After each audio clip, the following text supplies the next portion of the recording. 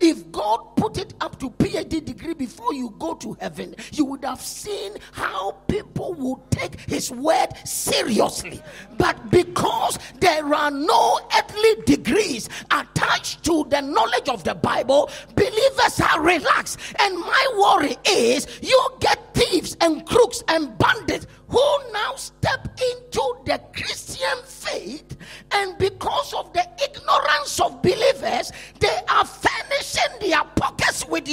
ignorance and telling you you carry demons you don't carry and are doing all sorts of things to rob your money, then you become a fool.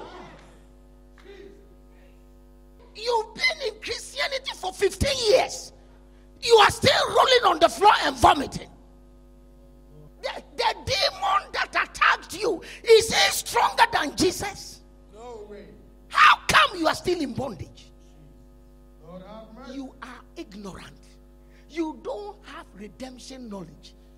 You are not equipped. God wants you to be knowledgeable. Church members come to church when they want. They don't even value knowledge.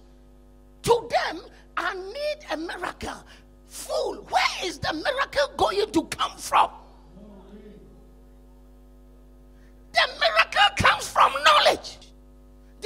between a rich man and a poor man is knowledge. What they know to be rich that the poor doesn't know. Knowledge is power. So we must strive to be knowledgeable. In all thy getting, get understanding. And wisdom is the principal thing to manage your life.